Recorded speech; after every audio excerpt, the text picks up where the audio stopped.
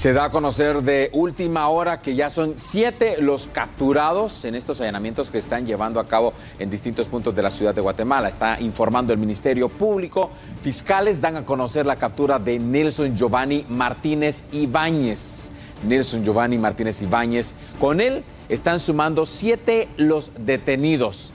Él está sindicado a formar parte de la estructura Los Pelones contra los delitos de la vida. Este es una estructura eh, pues que venía operando desde hace tres años en la zona 5 de la ciudad de Guatemala. Básicamente eh, hay algunos delitos eh, directos, según las investigaciones por parte de las autoridades que han estado practicando desde hace varios días estas investigaciones, precisamente con desmantelar esta estructura que definitivamente ha estado afectando y como mencionábamos, la Fiscalía de Delitos contra la Vida está pues trabajando, llevando estos allanamientos para desarticular dicha estructura.